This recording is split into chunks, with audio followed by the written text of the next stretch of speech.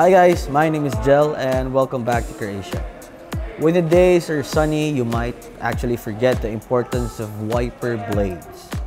And then all of a sudden, a heavy rain occurs.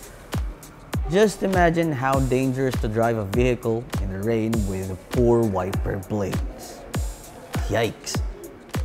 The rubber of wiper blades is a consumable part and needs to be periodically replaced.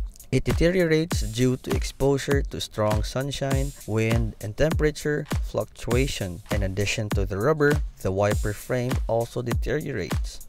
Have the wiper frames checked when you replace the rubber and replace them if necessary. Please note that replacing the wiper blades depends on the condition of the wipers and several factors can also affect the wiping performance.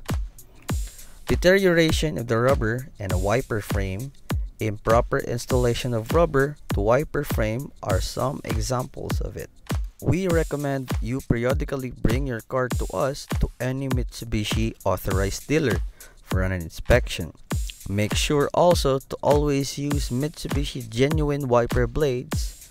Take note, the difference between genuine and non-genuine part is not only the quality of the wiper blades itself, but also the best match of a Mitsubishi vehicle. Here at Kar Asia, we have genuine wiper blades that provide confidence to your Mitsubishi car. We see to it that we have these important vehicle parts to your convenience because here at Kar Asia, we care.